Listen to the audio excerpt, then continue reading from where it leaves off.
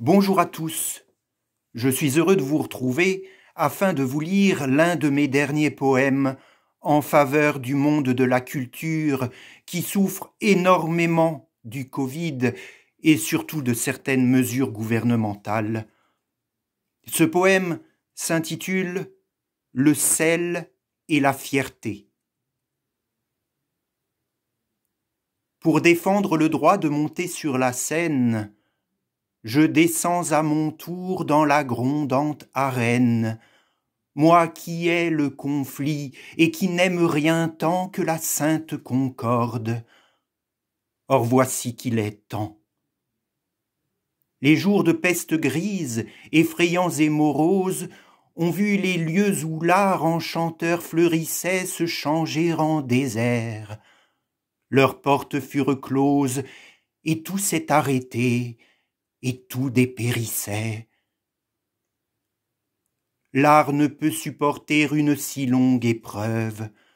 Autant vouloir barrer l'énorme cours d'un fleuve, autant raser Carthage une nouvelle fois, autant en l'avenir n'accorder plus de foi. Le risque est trop infime et l'insulte trop grande. Seule la dictature aime à museler l'art, s'entourant des encens des laits de propagande, s'appuyant sur le crime et les fourbes mouchards.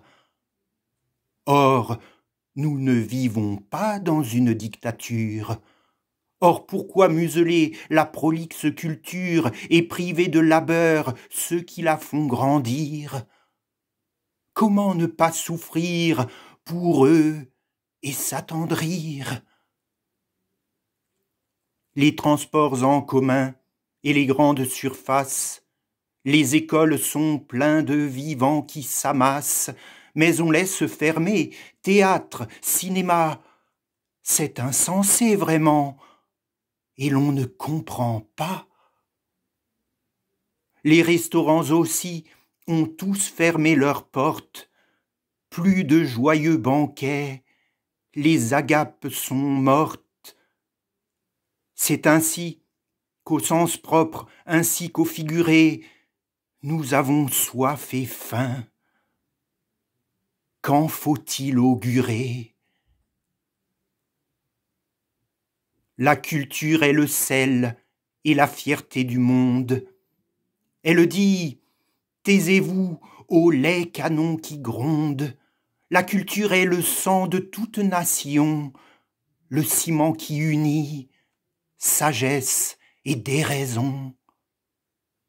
L'art est aussi vital que l'air ou la lumière, les fruits et le bon pain, et l'amour et l'eau claire.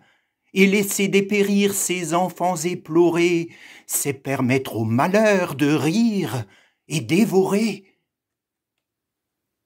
si le flambeau s'éteint, viendra la nuit obscure, viendront les jours de sang, les jours de déchirure, les étoiles au ciel s'éteindront en pleurant, et tout deviendra froid, tragique et écœurant.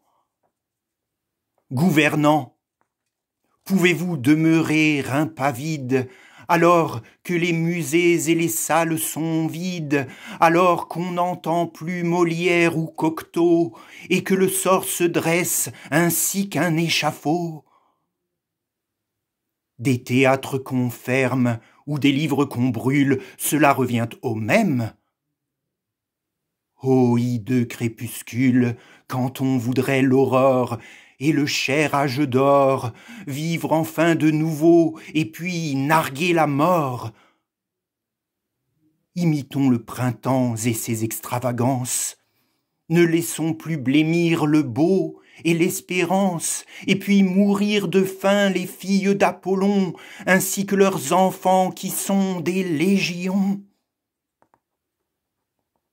Voulez-vous, gouvernants, que l'esprit rétrécisse, que l'art, dont le seul but est bien qu'il s'élargisse, ne serve plus à rien et que l'humanité fasse un pas en arrière et vers l'obscurité.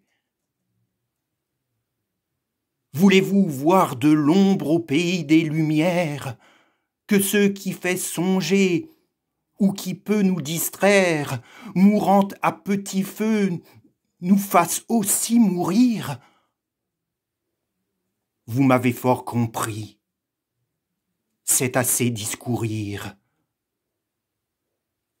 Tout pousse mieux, dit-on, après une jachère. L'art s'est revivifié après les temps de guerre.